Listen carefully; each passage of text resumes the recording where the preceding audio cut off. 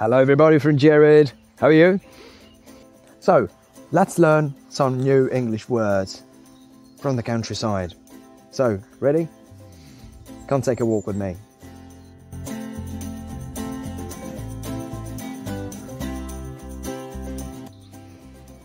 So, this beautiful guy is a lovely lemon tree. Here we have some rose bay, rose bay, um, oleandro, oppure anche più semplicemente oleander. Ma è curioso il nome Rose Bay perché bay, oltre a voler dire baia, spiaggia, bay è l'alloro e questo viene chiamato Rose Bay perché è una, dire, è un alloro che fa le rose perché quando l'oleandro è in fiore no, fa dei bei fiori eh, rosa e bianchi. So here we have the Rose Bay and of course one of the main character of this land, the olive tree and a very very nice mimosa tree. Mimosa chiamata anche silver wattle. Look at that. That's beautiful. So, here we have an adorable fico d'India.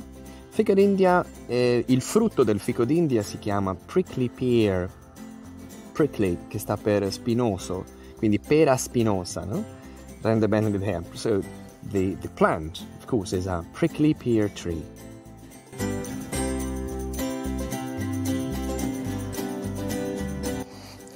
Over there we have a wild plum tree, quindi un susino selvatico, wild plum tree, and that one, in in its case, it it makes yellow fruits, and in this moment it's blossoming in fiore. It's blossoming. It's beautiful, isn't it?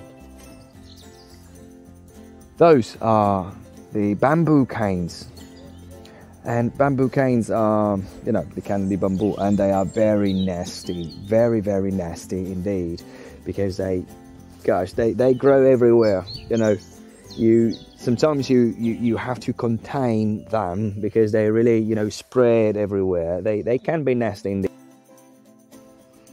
This is a rose tree.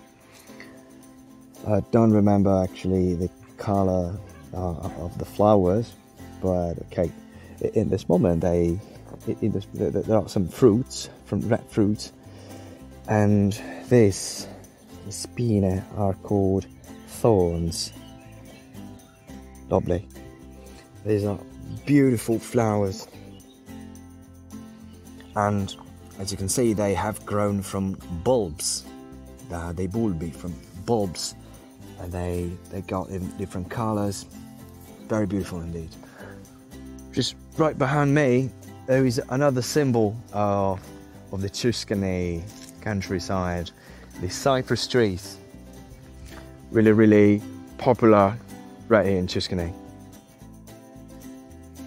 These nice plants should be crawling rosemary because it's it's definitely rosemary, rosmarino, but it's the you know the the crawling version. To crawl vuol dire strisciare, no? Crawling version, the crawling rosemary. Here we have the broom, la ginestra. Uh, no flowers at the moment, but you know uh, there are really many many brooms here in Tuscany, and there's another one over there. There we go. Hello.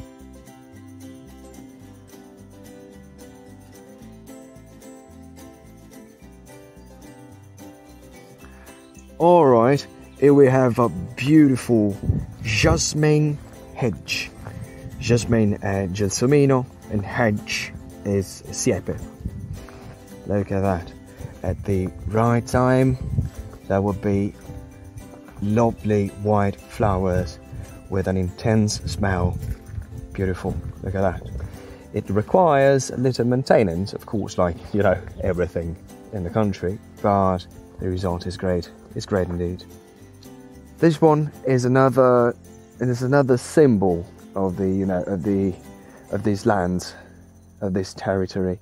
It's a loquat tree, un nespolo, a loquat tree, and the fruits. Oh, I really really love them. in the olive grove, Oliveto, olive grove, and even from the you know, even from the other hills, from the other properties, uh, this is the time for trimming, per la potatura, for trimming, and it's a it's a bit of a work, you know, it's a quite tough work because it requires energies, it requires time and great abilities too.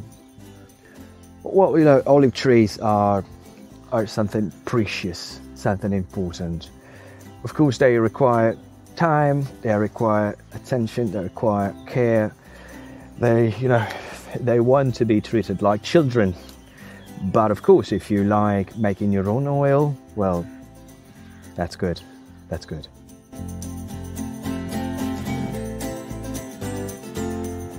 So, I just hope you, you enjoyed this video. If you haven't done it yet, please subscribe to my channel. Just follow me. And thank you very much for watching. And I'll see you next video. Bye bye.